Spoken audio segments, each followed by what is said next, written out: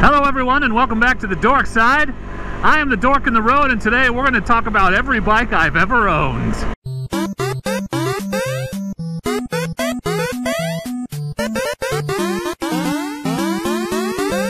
That's right everyone, I am the Dork in the Road and I want to be your internet riding buddy. And I'm better than your regular riding buddies because I'm available whenever you want and I come with a mute button. So please, consider subscribing. Don't forget to turn on those notifications so that you know when I post awesome new dual sport and adventure motorcycling content just like this. Here I am everyone, out on my CRF 250L one of my favorite bikes of all time, the second motorcycle I ever purchased. I've had a few, not as many as some. Um, I haven't had the long motorcycling career that many of you have had, but I know many of you are new to the channel, and some of you may not be familiar with my motorcycling history, and I get questions now and then, so I thought it might be fun to just kind of run down my journey through the world of motorcycling which bikes I've owned, what order, how that all happened. The first thing you need to know is that this story starts 20 years ago. I got my motorcycle endorsement. I took the Team Oregon class when I was 17 years old. The plan was my dad and I were going to rebuild a bike that he had, get it running, and it was going to be my bike. Well, we worked on it a lot, but we never actually got it running. Mostly because we just didn't really have the time that we thought we were going to have.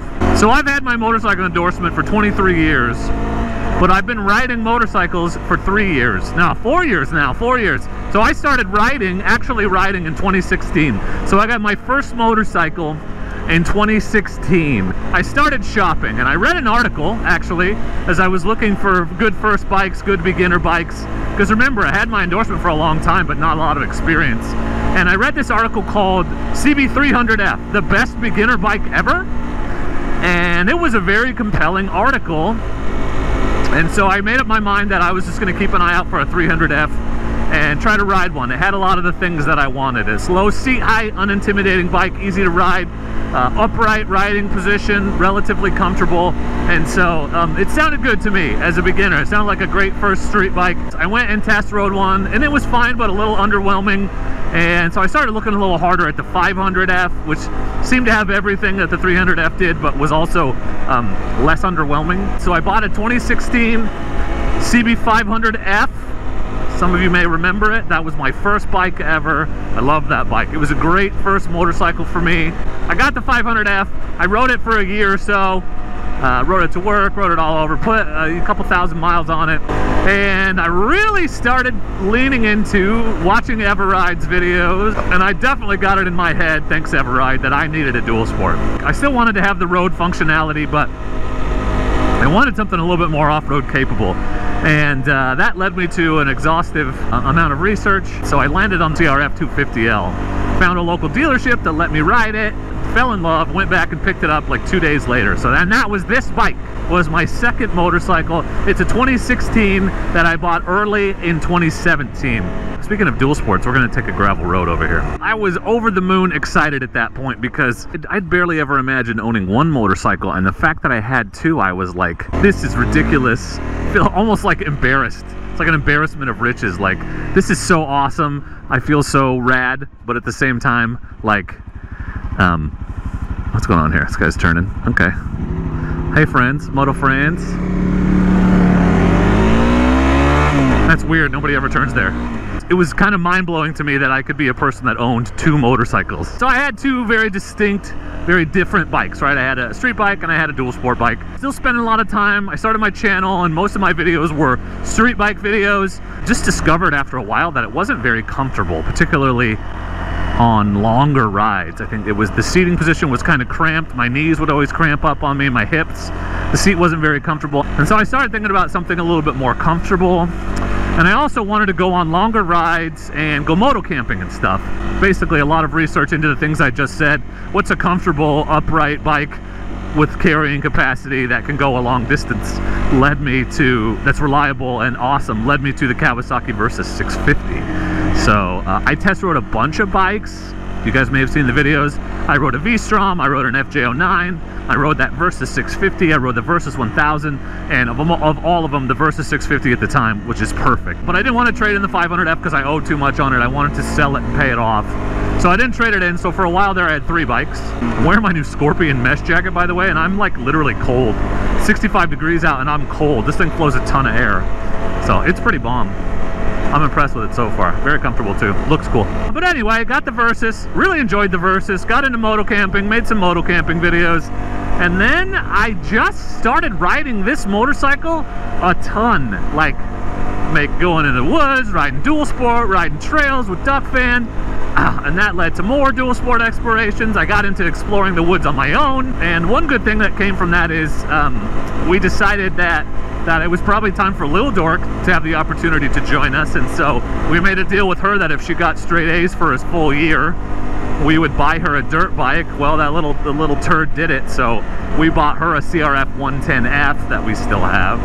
And then I don't, you know, looking back on it, I'm not really sure how this happened, but I definitely watched a lot of Baker X Derek videos, and I started getting this hankering for a Grom because they're just awesome, cool little bikes uh, that or a, or a Z125. Just a fun little dink around. That was a lot of it, was I kept seeing ads for Z125s for like $2,500 new. And I was like, man, what a cool, screwing around, not expensive bike to try to have and mess around with. And started watching a lot of Grom videos, a lot of exploration videos. Attention deficit did not help at all watching his videos on his Grom, especially when he started taking it off-road and doing some of that kind of exploring.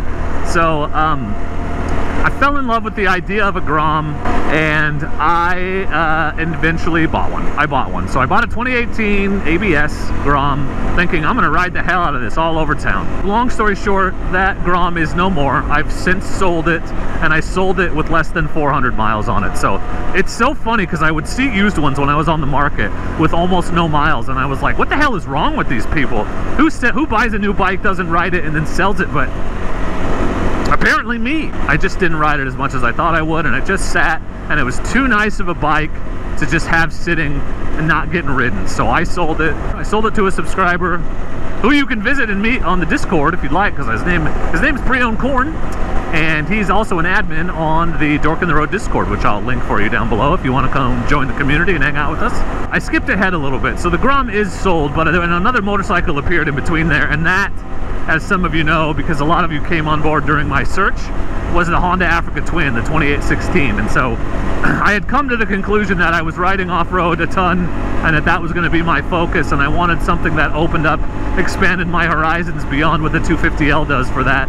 And so I started thinking adventure bike, true adventure bike, not an adventure tourer like the Versys. Wanted an Africa Twin forever. I was looking hard at V-Stroms and then this Twin came up with all the all the mods I wanted and I was like, babe, this is my dream bike. And my wife, to her credit, looks at me and goes, then just get it. So I did. Two days later, it was mine. So that's how I bought my 2016 Africa Twin. So uh, right now in the garage, I have a 250L, obviously, Little Dorks 110F. I have my Africa Twin. I still have the Versys, even though it's for sale.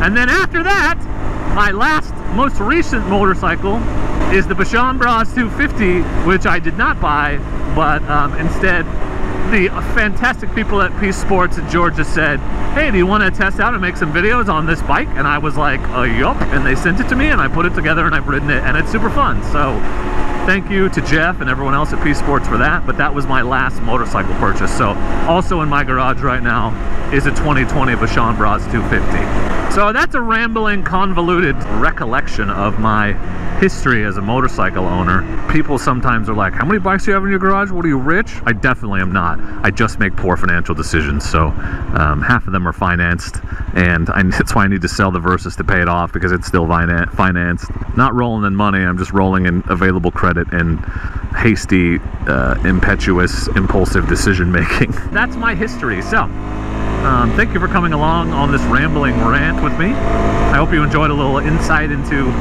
to my motorcycling journey, and I'm curious. Let me know in the comments, how many bikes have you owned, and which one that you owned was your favorite? I'd love to hear about your motorcycling journey too. So, but for now, I just want to say thank you for watching. I appreciate you, and as always, please do not forget, it's so important. It's so important you don't forget to be excellent to each other. Thank you. Excellent! Gotta love standing up on the street. People look at you real confused. What's this guy doing? I'm being awesome. That's what I'm doing. Get over it. Ooh, a friend, a buddy, a friendo. Oh. That guy's on a 500X. Oregon motorcycle, is that you? You didn't wave, whoever you are.